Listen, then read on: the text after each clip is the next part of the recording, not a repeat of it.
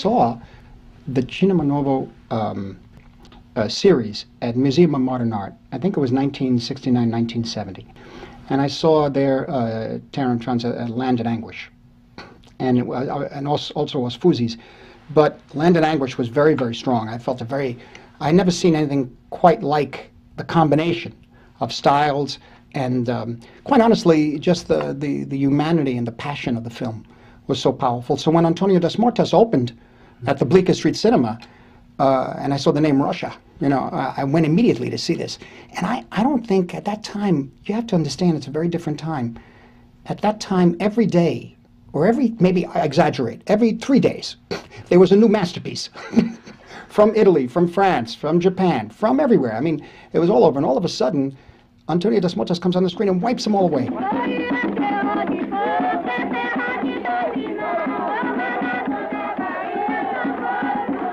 Just, and I, I can only say this from an emotional standpoint because um, I, I don't have the intellectual background of understanding the politics and understanding the nature of what was going on in Brazil at the time. Really understand. I really come from a working class background of uh, Sicilians uh, in the Lower East Side of New York, which was like living in a little village.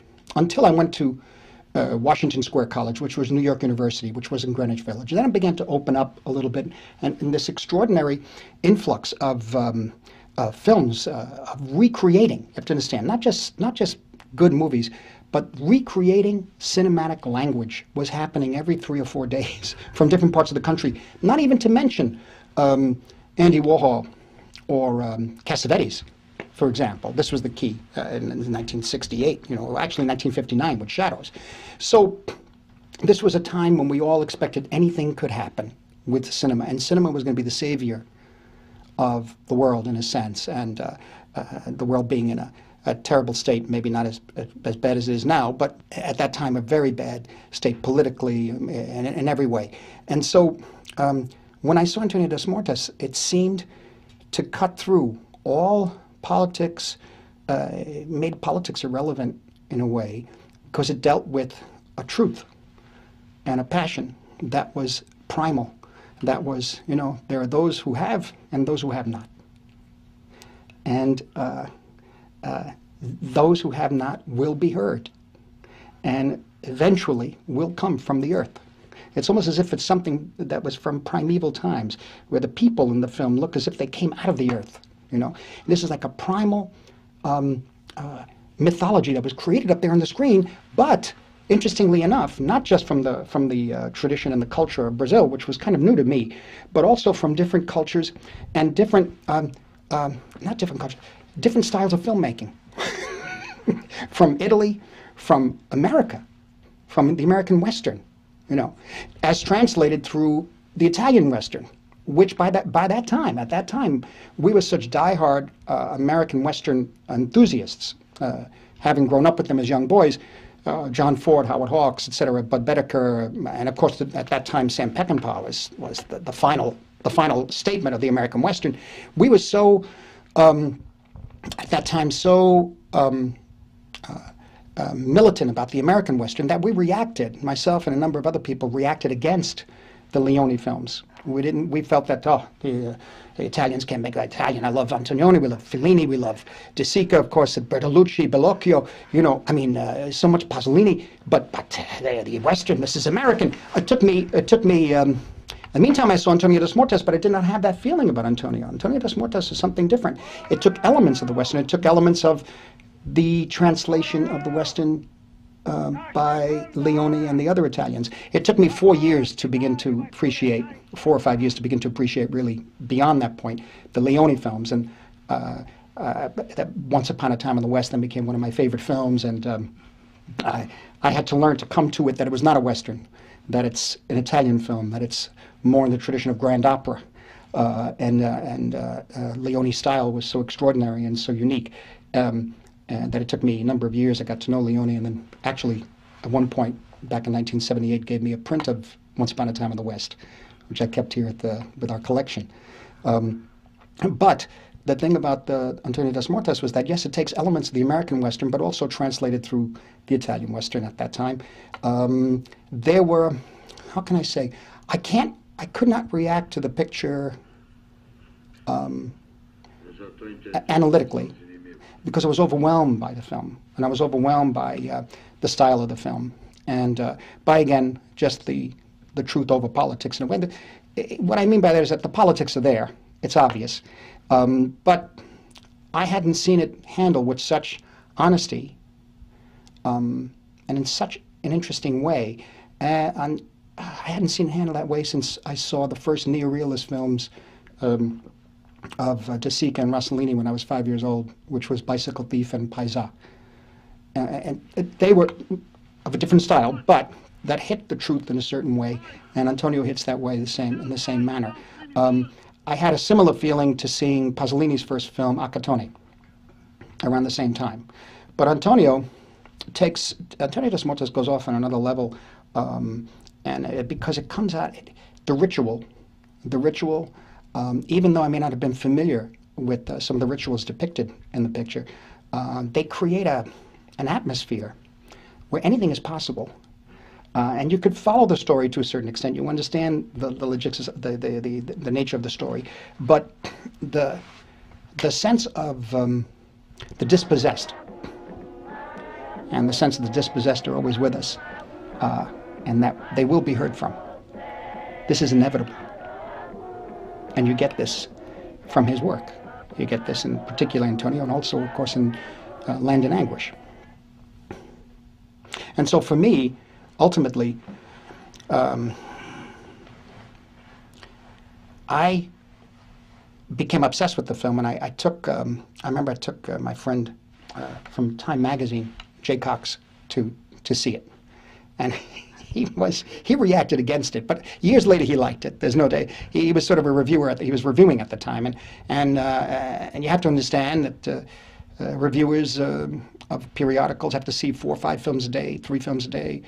You know, uh, suddenly this thing comes on the screen. He thought it was too excessive, too over the. I said, no, no, this is really important. We got to meet uh, Glauber when he came to New York that time, in a, in a, in a uh, restaurant uptown uh, just for coffee, and he and uh, the Time magazine gentleman did a, an interview of his mm-hmm. of him, and that's when I first met him.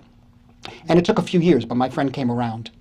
Uh, he was the same. He, he also, with me, didn't reacted against the Leone films, and then years later it came around. so, but um, but with Antonio das Mortes is something. Um, uh, the style is very important.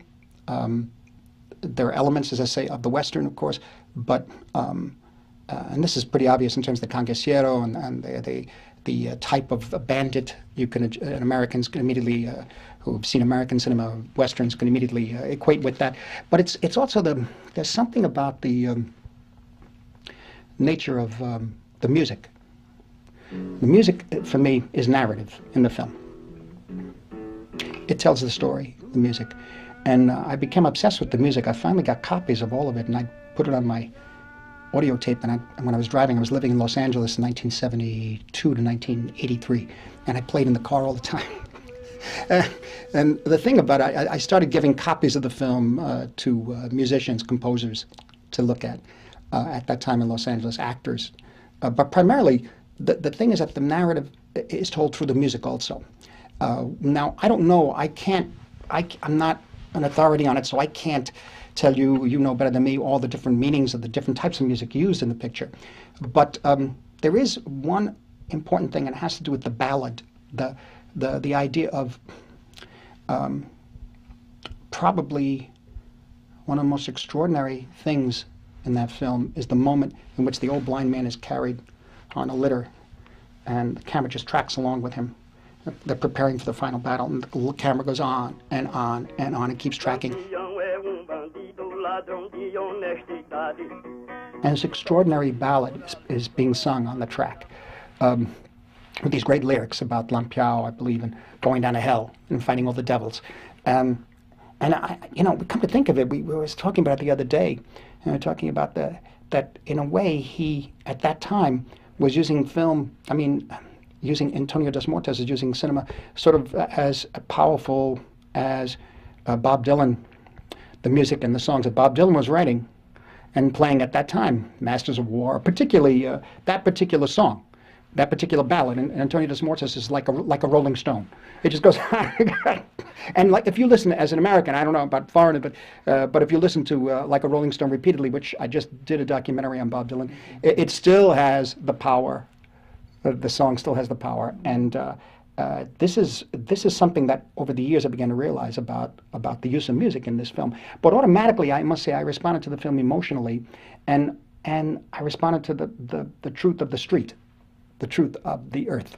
In other words, as I said, the people who have not will, will be heard from. And I think this is something that there will be a day of reckoning. And I think this film shows that.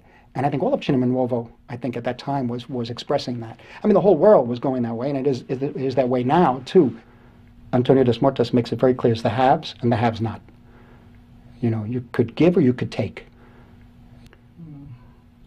You could share. and the ones who don't, they're going to come out of that, that uh, from that wherever they were. Cerrato is called the the, small, the, the area where the, the woman with the knife, the um, the extraordinary the rituals uh, that they're enacted, and one of the greatest moments in the picture too is the is the uh, uh, is the way the intensity builds with the music. It becomes like a ritual. It becomes like a religious um, uh, chant or an incantation. Uh, there's a moment where a woman, an older woman, starts singing, and I think it's when Antonio das Mortes starts to fight for the first time with another of the conquistadors. They put the um, handkerchief between their uh, between themselves. One whole bites the one end of the handkerchief, the other bites the other, and it's all one take. And recently, when I screened the film again, I screened the film again for I screened the film twice this the past few years. Um, uh, once for Gangs of New York and once for uh, this film, The Departed, this gangster film I'm doing. And I, again, if you watch that take, how all the elements fall together, how uh, you watch from the beginning of the take, I think it's about a 10 minute take. Uh, there's dialogue, and then the two characters move. Suddenly, the sky, I think it starts to rain or something. You begin to hear a woman singing, um, and then they start to fight. And the guy, I think it looks very real, uh, where one of the one of the characters gets hit with a knife. Um, uh, and the tension of the two men pulling on the uh, on the handkerchief, uh, on the camera moves, the camera moves, um, create something that um, uh, is an extraordinarily um, emotionally powerful uh, moment. But it's it's that kind of thing too, where you know everything is working for the filmmaker when all those elements come together. I don't know whether it's the actors, the weather, uh, the camera movement. Uh, somehow, if he had designed it, I'm sure he did. Um, but somehow, when you're working like that with a group, and I could see that everybody was, uh, everyone was, uh, what's the word, uh, uh, committed to making something special. And I say it all comes together, you know. And so this is a very, you know, that, that's one. I, it's one of the high high points of my film make my film going experiences to see this and to be enlightened by this picture. And because also, you know, the interesting, interesting thing about the, the Rocha films is that there was no, it just, there was no attempt at, um, I shouldn't say, he, he dealt with similar subject matter that was coming from Europe, but dealing with the European society post-war. But he dealt with it in such a way that was so um, uh, direct and so um, uh, it may have elements of the Baroque, it may have elements of, of uh, as I say, the Western and so many other different elements, but there was something about it that uh, there were no excuses. They were just, uh, this is the truth.